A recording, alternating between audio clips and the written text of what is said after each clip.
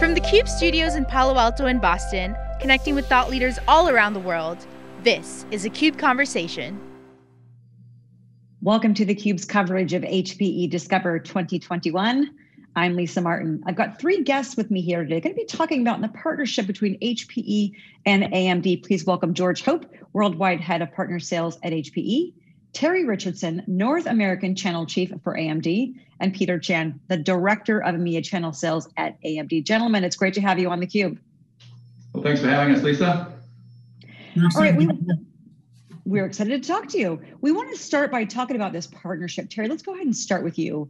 HPE and AMD have been partners for a very long time, very long history of collaboration. Talk to us about the partnership. HPE and AMD do have a rich history of collaboration, spinning back to the days of Opteron. And then when AMD brought the first generation AMD EPYC processors to market back in 2017, HPE was a foundational partner providing valuable engineering and customer insights from day one. AMD has a long history of innovation and have created a high performance CPU roadmap for value partners like HPE to leverage in their workload optimized product portfolios. Maximizing the synergies between the two companies, we've kicked off initiatives to grow the channel business together with workload focused solutions. And together, we define the future. Thanks, Terry. George, let's get your perspective as worldwide head of partner sales at HPE. Talk to me about HPE's perspective about that AMD partnership. Yeah, Lisa, it's uh, the introduction of the, the third generation AMD EPYC processors. We've we've doubled our AMD-based uh, ProLiant portfolio. Um, we've even extended it to our Apollo systems. And with this, we've achieved a number of world records across a variety of workloads uh, and are seeing real world results. The third generation AMD EPYC processor delivers strong performance, expandability, and the security our customers need as they continue their digital transformation. Uh, we can deliver better outcomes and lay a strong foundation for profitable partner growth. And we're incorporating unmatched workload optimization and intelligent automation with 360 degree security, and of course, uh, with, a, with an as a service experience that as a service experience becoming even more critical, as is the security, as we've seen some of the groundbreaking numbers and and data breaches in 2020 alone. Peter, I want to jump over to you now. One of the things that we see HPE and AMD talking about are solutions and workloads that are key areas of focus for both companies. Can you explain some of those key solutions and the value that they deliver for your customers? Absolutely, Lisa. From edge computing to HPC to the cloud and everything in between, AMD and HPE have been focused on delivering not just servers, but meaningful solutions that can solve customer challenges. For example, we've seen here in EMEA, the DL325 has been really powerful for customers that want to deploy VDI. Um, HP and AMD have worked together with ISV partners in the industry to tune the performance and ensure that the user experience is exceptional. Um, this is just one example of many, of course. For instance, the 345 with database, 365 for dense deployments, it's key. The 385 that has led the way in big data analytics. Um, the Apollo 6500 breaking new path in terms of AI and machine learning, quite a, a trending topic. And AMD and HP are always in the news when it comes to groundbreaking HPC solutions. And oh, by the way, we're able to do this due to an unyielding commitment to the data center and long-term laser-focused execution on the AMD roadmap. Excellent. Thanks, Peter. Let's talk about the channel expansion a little bit more, Terry, with you. You know, you and the team here, channel chief, focused on the channel. What is AMD doing specifically to expand your channel capabilities and support all of the channel partners that work with AMD?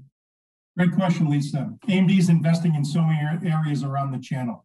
Let's start with digital transformation. Our channel partners consistently provide us feedback that customers need to do more with less.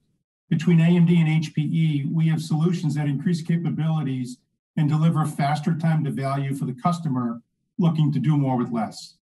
We have a tool on our website called the AMD EPYC Server Virtualization TCO Estimation Tool that allows you to visually see the savings. We also have lots of other resources such as technical documentation, AMD Arena for training, and demo CPUs that partners can take advantage of. Aside from solution examples, AMD is investing in headcount uh, internally and at our channel partners. I'm actually an example of the investment AMD is making to build out the channel. One more thing that I'll mention is the investment that our CEO Lisa Su and AMD are making to build out the ecosystem. From headcount to code development, AMD is investing to have a more powerful user experience with our software partners in the ecosystem. From my discussions with our channel partners, they're glad to see AMD expanding our, our, our channel through the many initiatives and really broadening that ecosystem. Terry, another question for you. As channel chief, I'm just curious. In the last year, speaking of, you talked about digital transformation. We've seen so much acceleration of the adoption of that since the last 15 months has presented such challenges. Talk to me a little bit about some of the feedback from your channel partners about what you, AMD and HP, are doing together to help those customers that needed to deliver that fast time to value. You know, so really it's all about uh, close collaboration. Um, we, we work very closely with our uh, counterparts at HPE just to make sure we understand partner and customer requirements. And then we work to craft uh, solutions together from engaging technically to collaborating on, on, you know, when products will be shipped and delivered to also just what are we doing to, uh, to identify uh, the next key workloads and projects that we're going to be engaged in together. So it's, it's really brought the companies, I think, even closer together. That's excellent. There's a, a, COVID catalyst, as I say. There's a lot of silver linings that we've seen, and it sounds like the collaboration, Terry, that you mentioned, has become even stronger. George, I want to go to you. Let's HPE's been around for a long time. My first job in tech was Hewlett Packard, by the way, many years ago. I won't mention how long. But talk to me about the partnership with AMD from HPE's perspective. Is this part of HPE's DNA? Absolutely. Partnering is our DNA. Uh, we've had 80 years of collaboration with an ever expanding ecosystem of partners that, that all play a key role in our go to market strategy. We actually design and test our strategic initiatives in close collaboration with our partners so that we can meet their most pressing needs. We do that through like partner advisory boards and things of, of that nature. Um, but we have we have one of the most profitable partner programs in the industry, two to three times higher rebates than most of our competitors. And we continue to invest in the partner experience and creating that expertise so partners can stand out in, in a highly competitive market. Uh, and AMD is in direct alignment with that strategy. Uh, we have strong synergies and a common focus between the two companies. And I also imagine, George, one question, follow-on question to that. There's tremendous value in it for your end user customers, especially those that have had to, everyone, pivot so many times in the last year and a half. Talk to me a little bit about, George, what you're seeing from the customer's perspective.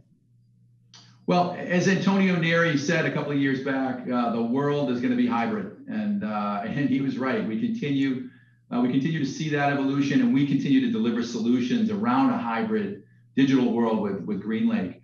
And the new wave of uh, digital transformation that we we refer to now as the age of insight, uh, customers want a cloud experience everywhere. And 70% of uh, today's workloads can't easily be refactored for the public cloud or they need to stay physically close to the data and, and other apps at the emerging edge or in colos or in the data centers. Uh, so as a result, most organizations are, are forced to deal with the complexity of having two divergent operating models, and they're paying higher costs to maintain them both. With with GreenLake, uh, we provide one consistent operating model with visibility and control across public clouds and on-prem environments and that applies to all workloads, you know, whether it's cloud native or non-cloud native applications.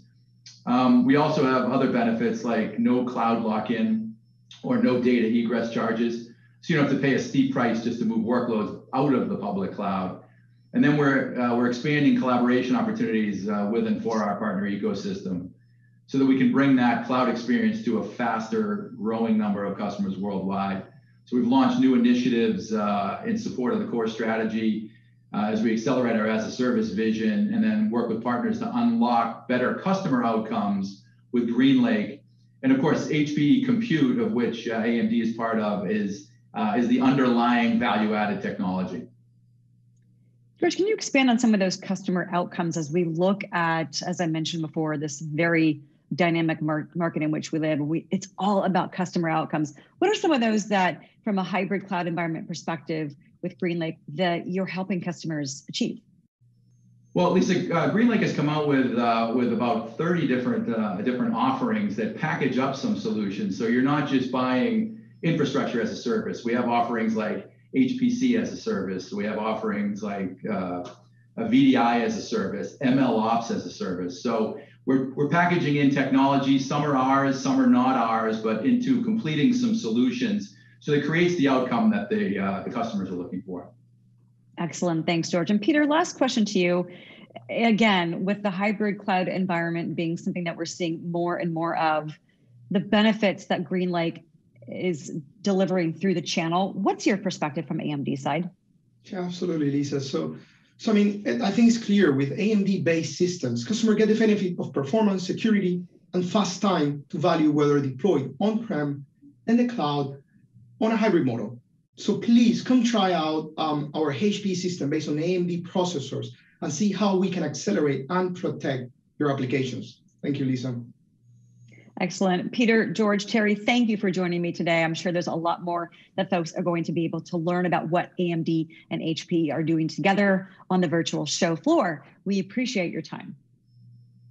Thank you. Thank you. For my guests, I'm Lisa Martin. You're watching theCUBE's coverage of HPE Discover 2021.